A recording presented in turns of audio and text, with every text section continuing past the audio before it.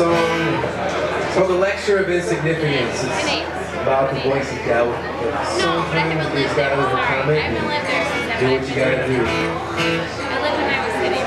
do.